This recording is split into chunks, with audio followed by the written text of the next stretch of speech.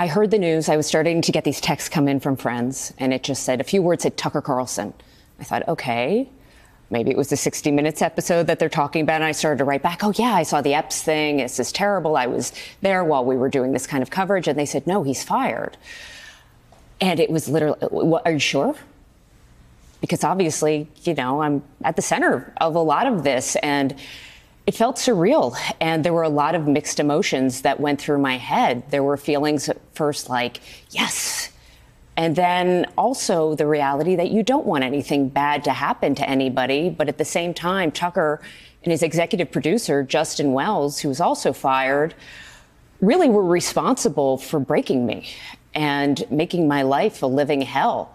So there is a feeling of justice, but it's only partial.